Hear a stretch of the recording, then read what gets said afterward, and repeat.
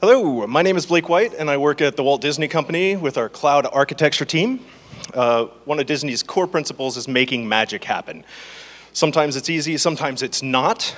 Uh, we've been exploring Kubernetes for most of the last year in our own OpenStack environment, Google's cloud, and in AWS. Here are some of the things we've learned. Uh, first things that we thought about were placement.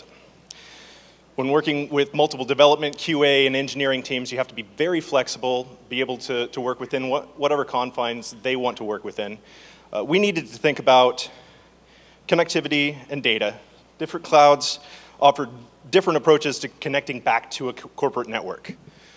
Does the project you're working on uh, need to be able to reach code repos, artifacts, other services in your corporate network? Is there data that needs to follow certain privacy standards? How much latency, latency is tolerable? Do you need to interconnect between cloud accounts?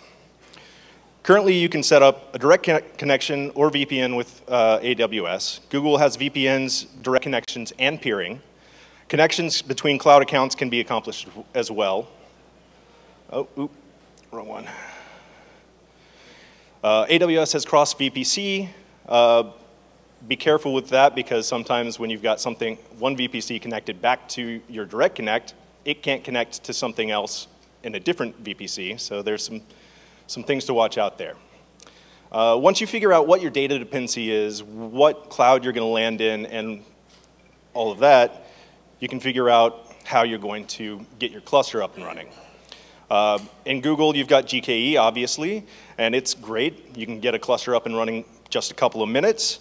But if you need some more configuration and customization, you'll want to go with GC GCE or another cloud entirely if you need to use another cloud. Uh, the ways that you can bring this up, automation, you'll probably want to use something based off of Cube up or kops. kops is a fantastic tool for, for operationalizing uh, Kubernetes.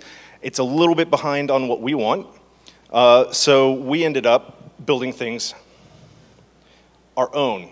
And the main reason for that was because we needed our VPC to be connected back to our corporate network. Currently, we can't set up the subnets and everything like that in AWS or GC without some finagling. So the trickiest part that we had with that was setting up the DNS. Uh, we moved from SkyDNS to kubedns. Uh, that helped the cluster a lot, but in AWS, things just weren't working. So basically our DHCP set for the VPC was skipping the Amazon internal and pointing just back to our corporate network, which is what we needed. But Kubernetes was unhappy because it couldn't find all of the nodes. Couldn't.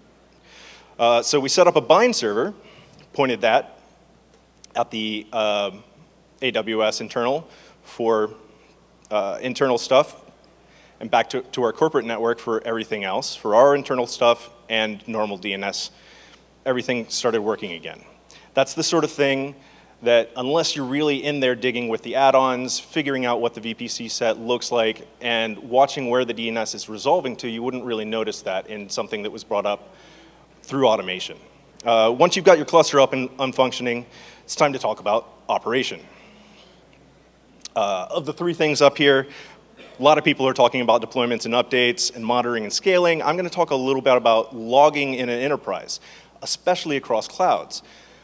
Stackdriver, things like that are fantastic, but it lives within your account. How are you going to query that across accounts? You don't want to ship everything to a central repository because then you're paying for egress and you're paying for all of that sort of thing. So one of the main things, so what we figured out was keep everything in right next to your cluster, and then query only the things that you need. Um, we set up an elk stack. Be careful where you put your dashboards, or else you'll be shipping much more than you thought. And that works really well. Uh, set up tribe nodes, nodes above it, and you can query across multiple clouds. Um, it's not the only solution, but it's a good solution. Um, to wrap up, Kubernetes does a lot of the heavy lifting for you, but when you need to think about an enterprise and all of its needs, maybe you need to think a little bit outside of it. So get your hands dirty, don't rely on all the magic, make some of the magic happen for yourself.